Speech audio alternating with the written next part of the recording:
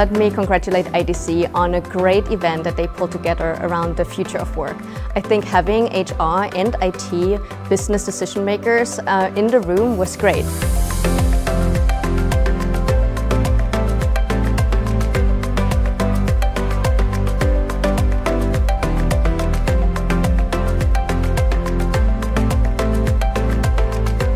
Key takeaways from this event are uh, really um, the, the, hot topics like uh, Gen AI and AI what we're working on.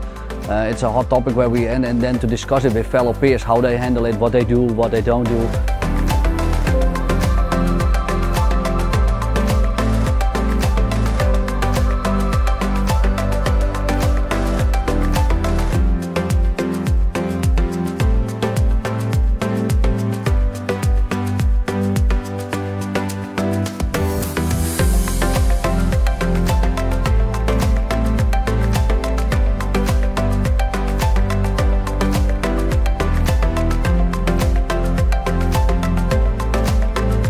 My impressions today are that we really are breaking those silos between the human element and the digital element of our workplaces.